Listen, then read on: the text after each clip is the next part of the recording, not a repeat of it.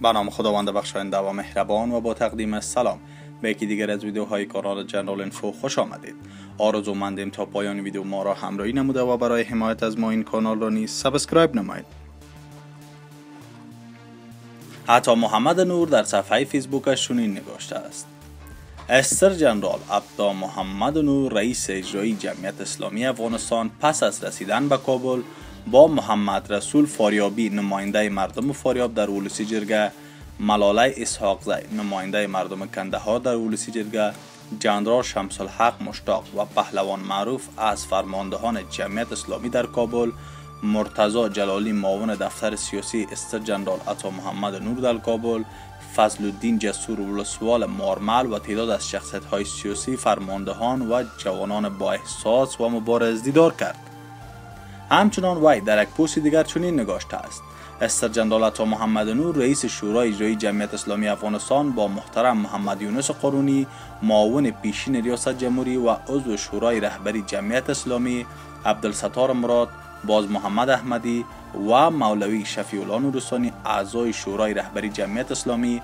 رنگینک کارگر نماینده مردم فاریاب و فوزیه امیدی نماینده مردم بلخ در اولسی جرگه. دیدار و روی مسائل مهم و اوضاع جاری در کشور بس نمودند کمیسیون مستقل انتخابات نامزادان و ناظران انتخابات نشست مشترک برگزار می کنند دسته انتخاباتی دکتر عبدالله عبدالله هرچند از شرکت نمایندگان این دسته در این نشست سخن می‌زند اما می‌گوید که باید اجازه داده شود تا رسانه ها این نشست را زنده پوشش دهند. در پی تداوم جنجال های انتخاباتی و تأخیر در اعلام نتایج نخستین انتخابات ریاست جمهوری قرار است امروز یک شنبه هفت قوس کمیسیون مستقل انتخابات شماری از نامزدان انتخابات ریاست جمهوری و نهادهای دخیل در روند انتخابات نشست مشترکی را برای دریافت یک راه حل به این جنجال ها برگزار کند.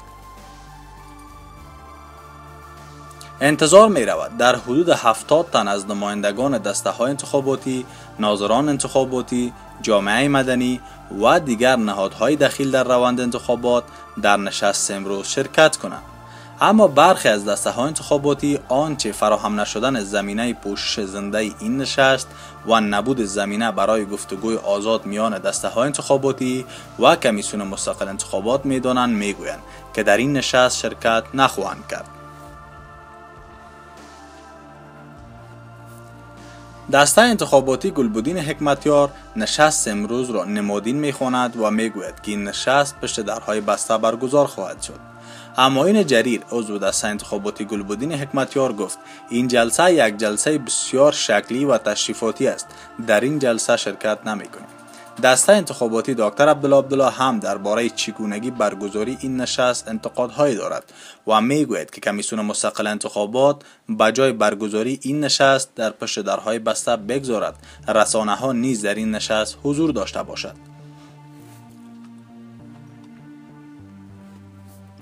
نور رحمان اخلاقی عضو دسته انتخاباتی دکتر عبدالله عبدالله اظهار داشت. امروز درباره پخش زنده و درباره این که طرف های بحث روشن باشند هر دو طرف فرصت داشته باشد و متاسفانه تا جایی که من می‌دانم کمیسیون یک دفاع قانونی ندارد از عمل کردش دارد فرار می کند یوسف رشید رئیس بنیاد انتخابات آزاد و عادلانه افغانستان نیز بیان داشت.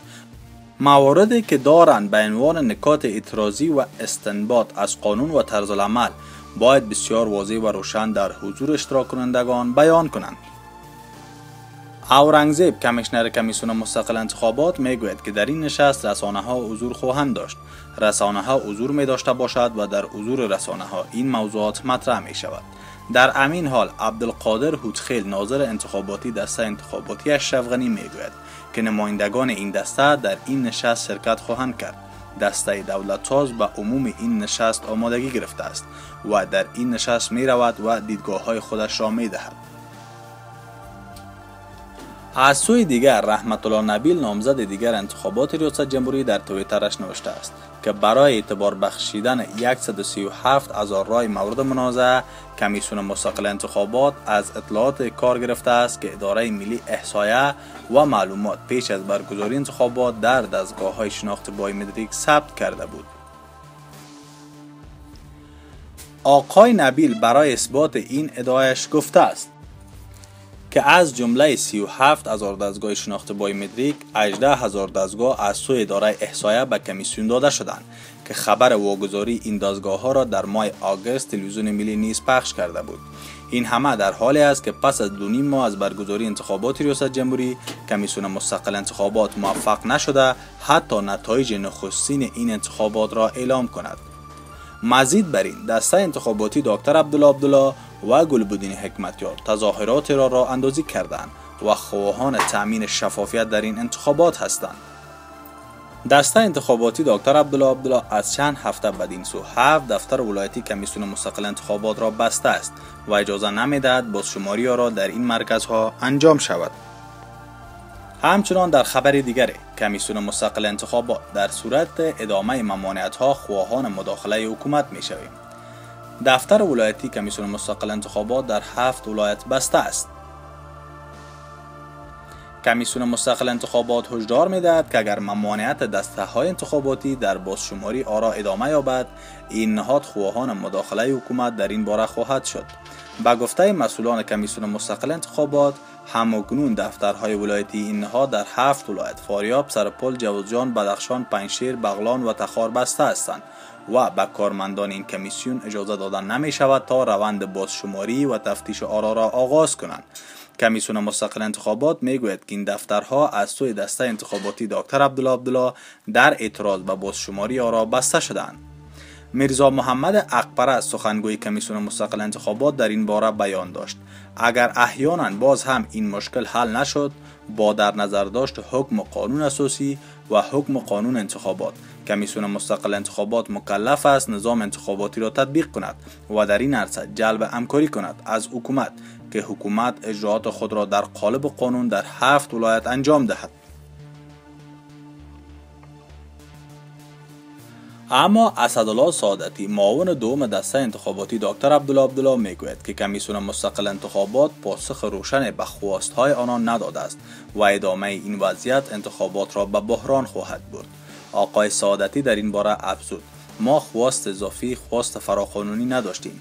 یک خواست قانونی مطابق طرز العمل و قانون برای شفافیت داشتیم. اگر این خواست برآورده نشود یقینا من فکر می کنم که دیگر نمی شود سر انتخابات افغانستان حساب کرد.